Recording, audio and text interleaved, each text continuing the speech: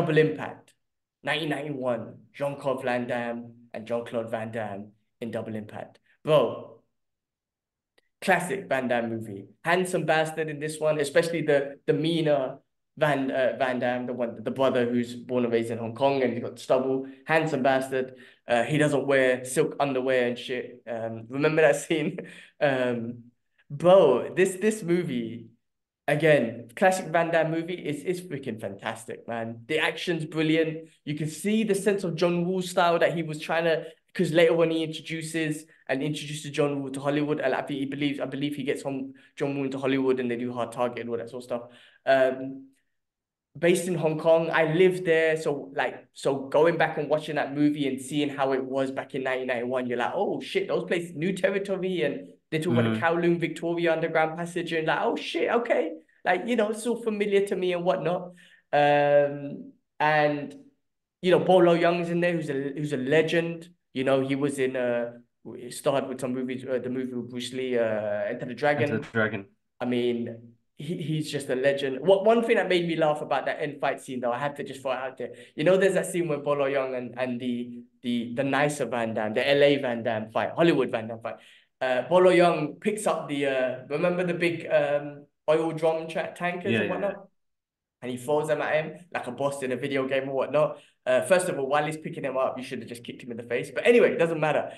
His his technique when he picked up those things was Olympic style perfect, bro. I was I was busting up. He's in the middle of they're in the middle of a life and death fight, right? And this guy killed his parents. And then he one, he lets Bolo Yeung pick up the thing, and his technique's perfect. Feet, knees are aligned, shoulders are aligned, huh? like locked out shoulders. He's squatting, picks it up, and then he throws it. I'm like, wow, he's proper technique, man. He ain't looking to pull his muscle in this fight, man. And Van Damme just watches him as he perfectly uh picks up these oil drums and throws it at him.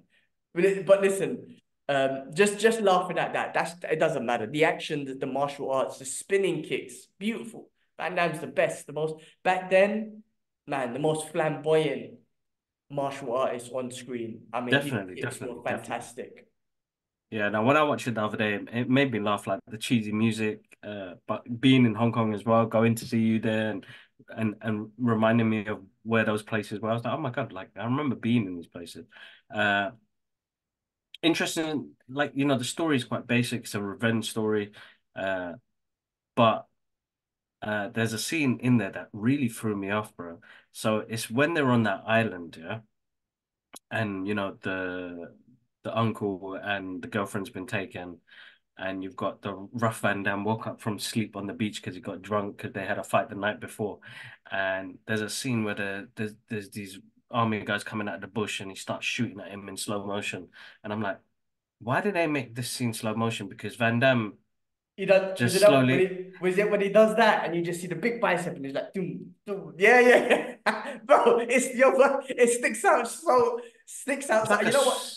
Do you know what's funny? Dad was watching that movie when, when I was in London in, in, in uh, during Christmas. And I remember that specific scene. And I was like, wow, look at that bicep. And when I watched the movie, I was like, wow, look at that bicep. And look how it, you're bringing it up as well. and it's such a random scene. I he would have got shot in that scene. Van Damme should have been dead in that scene. But that guy came out, it's like, and then he was like, lifted the gun up, bicep. It was slow. They even had him jump up in slow motion. I was like, this is so random. But listen, man, Van Damme at his best, flamboyant, great film, great action film. There's nothing more that I'm gonna ask, bro. Like when I put on a Van Damme movie, bro, just make sure you're showing your booty and you do the splits and the and, and the side kick and and and the spinning kick. I'm happy, bros. You know what I mean? Oh, weird. I'm sorry, bro, but I was just about to say that in the beginning scene when he's doing the ballerina or, or the stretching with the girls, and he does his splits, you just see booty. You see his booty, and you're just like should, I'm not, should I, should I, should I turn away or should I just watch his booty? Like, I need to need, need to do some more squats first. Uh, bro, listen, good good fun movie, man. Really enjoyable. I, I and even to this day, for for it to entertain me to this day, then the movie still got some.